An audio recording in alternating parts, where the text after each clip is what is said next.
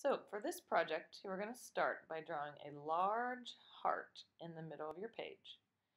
Then you will use a ruler, or as you can see, I am using just a piece of paper that's folded to make straight lines, going up and down across the paper, and then go side to side across the paper. When you're finished drawing all of those lines, then you will trace them with marker.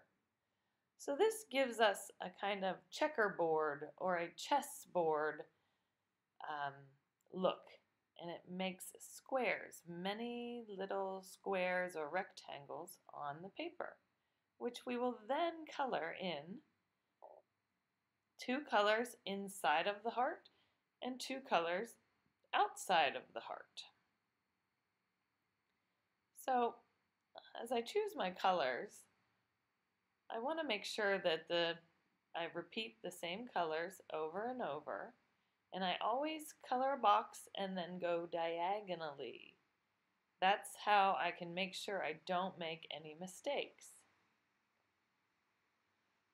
So it'll be a really nice pattern if you start in one place inside the heart and color every diagonal box with one color stopping at the edge of the heart. As you can see, I'm almost finished with my blue now. This video, of course, is sped up. It is fast forwarded. Forwarded. Fast forwarded. So, of course, I want you to take your time and go slower. Because when I really did it, I was going slow also. So as you go, then you will see how nice this looks if you take your time and you follow that pattern.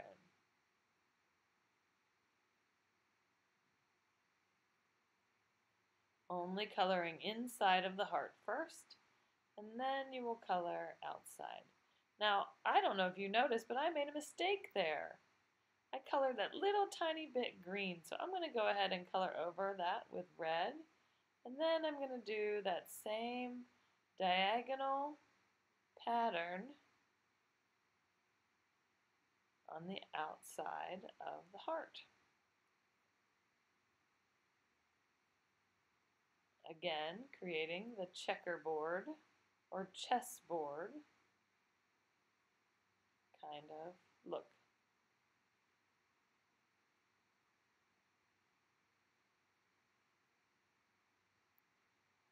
So in this video, I was going to do two colors for the outside of the heart, but it was taking me a while.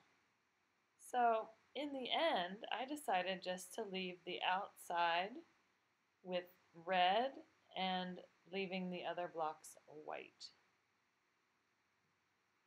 Now, you will see here that I am going to make a mistake. Artists make mistakes. Oh, right there's my mistake.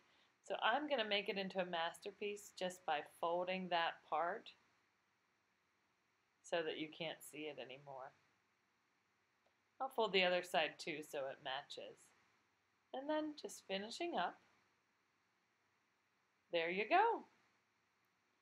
Very nice, huh? So I hope you enjoy this project. Take your time. You can use any colors that you want. Have fun!